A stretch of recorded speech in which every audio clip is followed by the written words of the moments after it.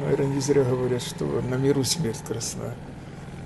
Я выехал на поле, тут дедушка сидит на поле, день хороший, с, внуча, с внучками на окраине. Две соседки пожилые дефилируют это, это вдоль бетонки.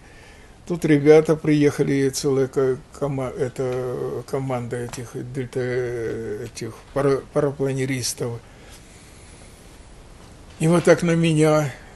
И что-то меня, хотя я как бы не склонен к такому это, выпендриться, а тут этот сзади говорит, давай обороты побольше. Ну, больше, больше, оно в небо само. Ну, ручку потянул на себя и взлетел.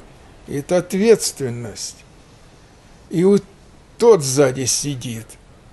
Приземляюсь, спрашиваю его, ну как тебе страшно не было? Нет, говорит, ты знаешь, а мне страшно. А что, что смотрю на руку, у меня легкая дрожь, вот так, это нервное такое.